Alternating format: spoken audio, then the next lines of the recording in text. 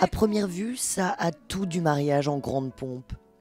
Musique, témoins, écharpe tricolore, le protocole est respecté à la lettre, à un détail près. En tant qu'élu, je me dois de respecter la loi. Ce ne sera pas enregistré légalement.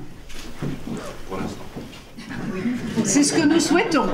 Car cette union est purement symbolique. Les deux jeunes mariés sont en effet deux hommes. Tito et Florent vivent ensemble depuis 25 ans. Le Pax, pas question, un demi-droit selon eux. Le couple veut un mariage en bonne et due forme, le même que pour les hétérosexuels. On a été obligé d'en passer par là pour tout, tout, tous les débats. Pour la peine de mort, ça a été la même chose. Pour l'avortement, ça a toujours été une lutte. Et, euh, et c'est pour ça qu'on a fait ce mariage militant, parce que Tito et moi, on a, on a conscience de cela, que tout passe par des luttes.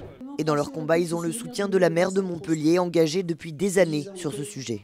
Ah, je pense que c'est important pour la société. C'est important pour faire évoluer la loi. Vous avez quand même neuf pays aujourd'hui en Europe dans lesquels la loi autorise le mariage homosexuel. La France encore n'a pas encore mis ce sujet à l'ordre du jour du Parlement. À la fin de la cérémonie, les mariés se sont simplement pris dans les bras. Le baiser, ce sera pour le mariage, le vrai.